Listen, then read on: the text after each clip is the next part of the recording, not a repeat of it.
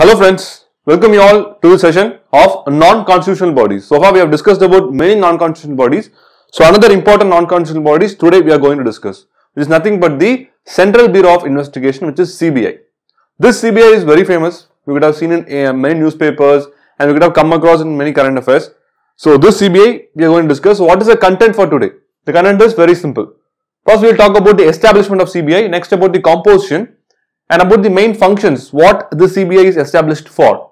And there is uh, a comparison between the CBI and the state police. That we will discuss. And last about the CBI academy. This is the content for today. So we will start from the establishment. So how this has been formed? So this CBI is formed in the year 1963 on the recommendation of Santhanam committee. Santhanam committee on prevention of corruption. Okay. The Santhanam committee has been set up for prevention of corruption. So this Santhanam committee recommendation uh, establishment of an organization or investigation agency called CBI was recommended and due to that in 1963 CBI has been established. So how this has been established or tracing its history uh, we understand one thing there is something called special police establishment. This is a what to say a, a committee or a, a separate group or body whatever you can say this has been formed in the time of British period okay under the Department of War. British India, they had some uh, uh, departments. Under that Department of War, this uh, special police establishment has been formed. What is the uh, need for the special police establishment to be formed is for investigation, investigating bribery and corruption. This is the main principle or motto for the establishment of this special police establishment under Department of War, British India. Okay, British Empire.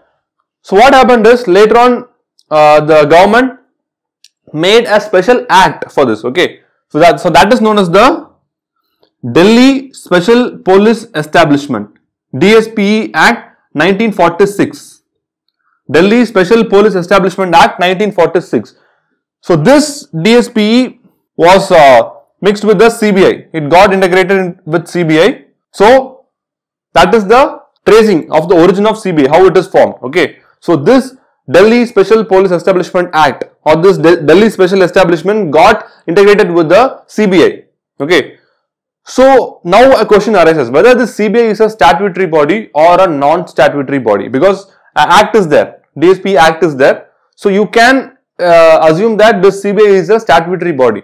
No, actually it is not. CBI is not a statutory body because this CBI is not formed because of this act. Okay, this CBI is not formed because of this act. It only draws the powers from this act. So that is the difference. Always don't have an assumption that if there is an act, then it is a statutory body. Not like that. If a body is there, that body should be derived from the act. Then only it is a statutory body. Otherwise, it is a non-statutory body. In that basis, CBI is a non-statutory body. It only uh, takes the backing of this act. It is not formed because of this act. That is the difference. Uh, being said that, so that is about the CBI and uh, uh, under whose supervision or superintendence the CBI comes. When CBI is investigating cases related to corruption, okay, it comes under the superintendence of CVC, which is nothing but the Chief Vigilance Commission. While dealing about CVC, I already told this point. Here also I am repeating. Okay, so when CBI is investigating, CBI is an investigating agency. We all know that. Okay, CBI is a special investigating agency of central government so when it is investigating cases related to uh, corruption or bribery, it comes under it comes under the superintendence of CVC, Chief Vigilance Commission. Otherwise, it is investigating on cases other than uh, vigilance, then it comes under the control of Department of Personnel, Department of Personnel and Training under Ministry of Personnel, Pension and Grievances. Okay, so that is the main clear point. So, is CBI the only investigation agency in India? No, we also have another investigation agency called the NIA, National Investigation Investigating Agency, which will be studying in the next chapter. Okay. So, both the investigation agencies are there. So, what is the difference between CBI and NIA, National Investigating Agency? So, this NIA has been formed after the famous Mumbai terror attack. So, the main focus or the principle of this NIA is to only inquire, only investigate the terrorist actions. Okay? Only related to terrorist action terrorist offenses it will be it will be investigating. Okay? But the cba on the other hand it can investigate on any other matters especially matters on economic offense and the bribery and corruption. So that is the main aim or the difference between cbi and nia So that is about the CBI. So CBI is the investigating, investigating agency of the country and CBI also performs a role. CBI gives full assistance to CVC, Central Vigilance Commission and Lokpal. So that is about the establishment. Next we'll go into the composition of CBI. So now about the composition. So main thing about the composition is CBI has a director who is responsible for the administration of the entire organization CBI. Okay, he is the prime. Here uh, there is one director. Okay, so this director of CBI is nothing but the IG, Inspector General of Delhi Special Establishments, Delhi Special Police Establishment. The Inspector General of Delhi Special Police Establishment is the director of CBI. That is one very clear point here. And the CBI also has special directors followed by joint directors followed by IG Inspector General followed by Deputy in, Inspector General DIG followed by SP Superintendent of Police and and the hierarchy goes like the normal police okay for normal state police what hierarchy has the same is for is for the CBI also but one thing very clear the director of CBI is nothing but the Inspector General for Delhi Special Police Establishment and this director has been given a fixed tenure of 2 years as per the CVC Act. Okay, as per the CVC Act 2003, your director of CBI is given a secure tenure of 2 years. So that is about the composition.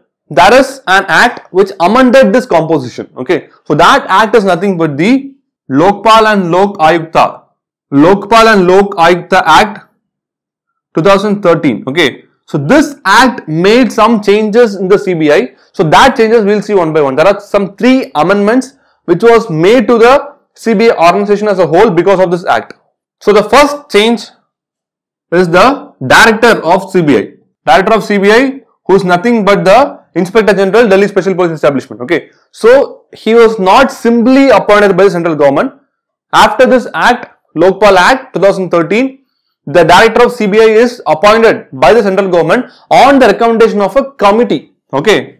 There is a committee and this committee consists of three people. One is the Prime Minister and next is the leader of opposition, leader of opposition in Lok Sabha and third is the Chief Justice of India or a Supreme Court judge nominated by the Prime Minister. So these three people will be in the committee and based on the recommendation of the committee only, the central government will appoint the director of CBI. That is the first change to the CBI because of the Lokpal Act 2013. And what is the tenure of director of CBI? It is 2 years as per the CVC Act 2003. Fixed tenure of 2 years. That is the first change. Next one is the there shall be Directorate of Prosecution.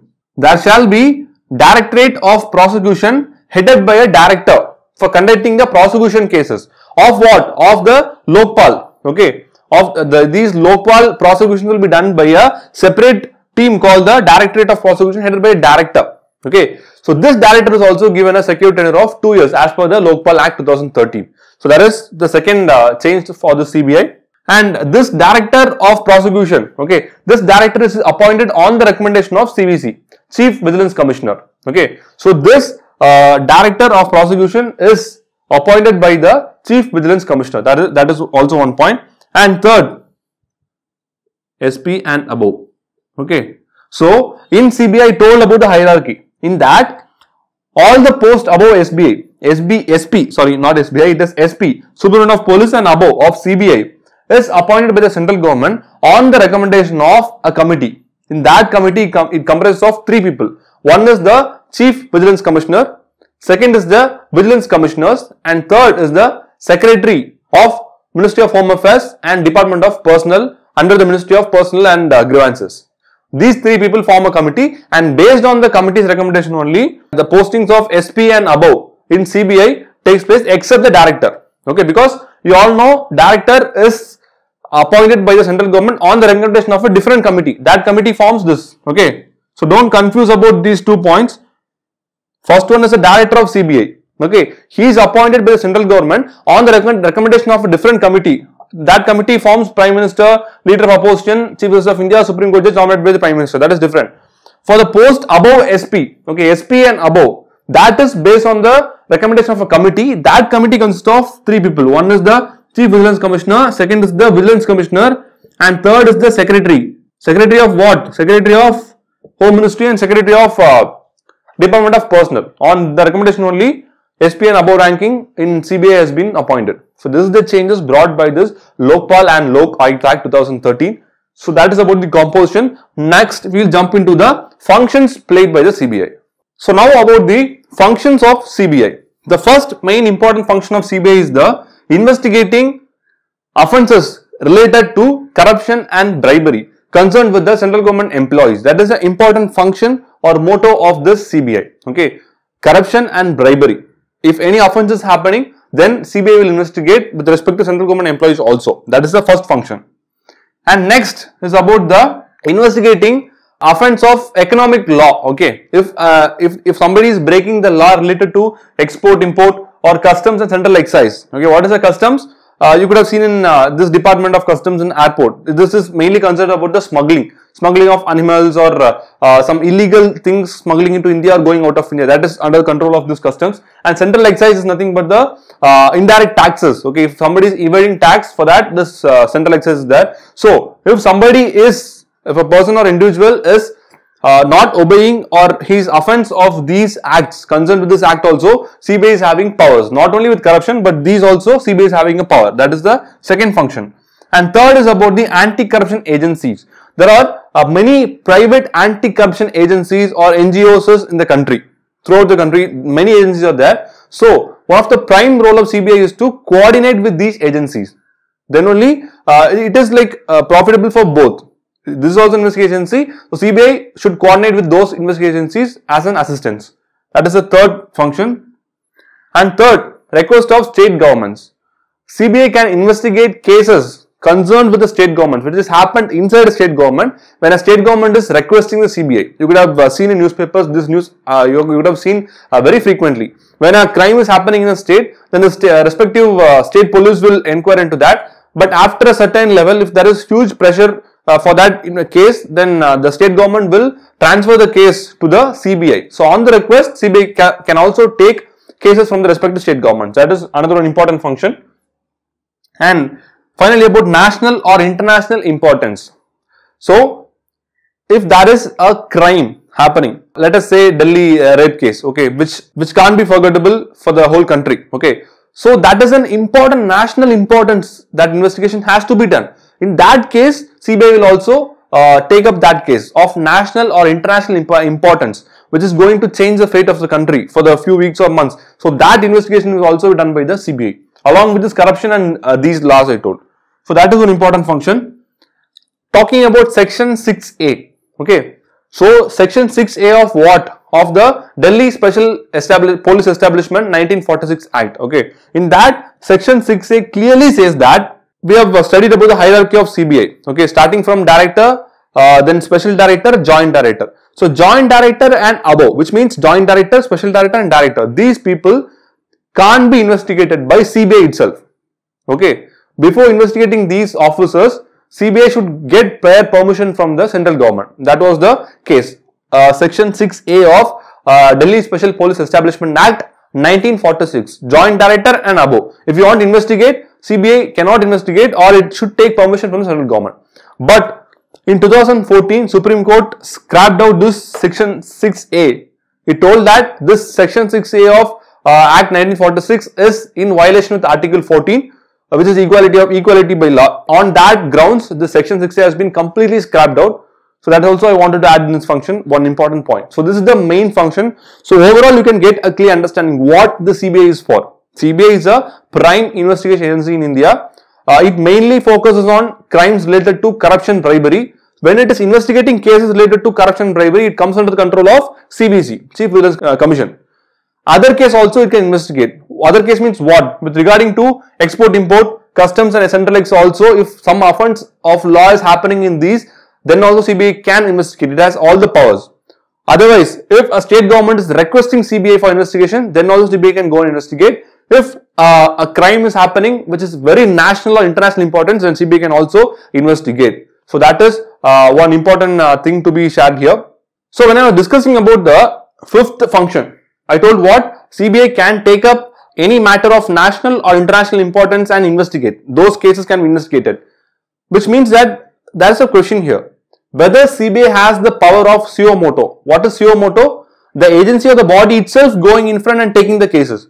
Whether CBI is having that power? No. Okay. In such case also, national or international importance also, CBI should get the prior permission from the central government or state government involved. CBI can't just go like that and take the suo motu cases, okay. It can only take with respect to when talking about the act, DSP Act, the Delhi Special Police Establishment Act 1946, as per the act, section 2, okay.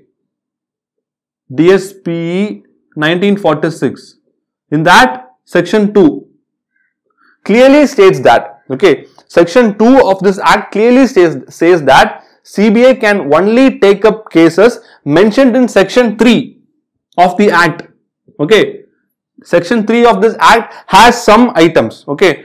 Only on those items CBI can take up suo motu that also in the unit territory only. Okay. Only in union territories only uh, your uh, CBI is having the suo motu power. Only in union territory that too items mentioned in section 3. Okay. Apart from that, CBI doesn't have the power of suo motu. That is the only thing you should understand because I have said here clearly that uh, CBI can take up national international importance means just like that CBI can't suo motu take up any cases. It has to get the prior recommendation or it should have the approval of the central government or the state government if it is inside the state it should get the prior approval of the state government. That is an important point here. Uh, only with regard to territory only your CBI is having the power. It can be helpful for any MCQs. So that is about the functions of CBI. Next we'll uh, look up about the difference between CBI and the state police. After studied about the composition and the functions of CBI, we are somewhat clear about the CBI, how it is structured, how it is functioning. So now we have a, a doubt in our mind. What is the exact difference between a CBI and a state police? Okay. So we have discussed about the hierarchy of a CBI starting from director and SB and uh, the hierarchy of CBI and the state police was same only. It is same. There is no, no change at all. The hierarchy is same, but there is some differences. That differences we will see now. The special police establishment, which is nothing but the CBI. Okay. So special police establishment has all the powers to inquire. Okay. It is concerned only with the central government. Central government and its agencies and its employees. Okay. Special police establishment. On the other hand, your state police, SP, I will say, okay, state police is concerned with your state government, only of the state government. Okay. So that is a question. This special police establishment cannot inquire into uh, any crimes done by the state governments. No, it can also inquire, but it is concerned with central government. Okay, even if it is even if it includes any state government employees or state government agencies, your special police establishment or CBI can investigate. Okay, but special focus or concentration is on the central government and its agencies only. Okay, now with state police, I have told it is only focusing on the state government and its bodies and its agencies only. Whether if a central government employee or central government agency is uh, doing any crime, whether your state police has any can take any action against them, yes, even they can take, but their focus is on state government. It is only concerned state government. Even if it is related to any other central government employee agency, your state police can investigate that. Okay, that is uh, one point. Next, important difference is public sector undertakings. Okay, public undertakings or public sector undertakings or a statutory body or agency financed by central government.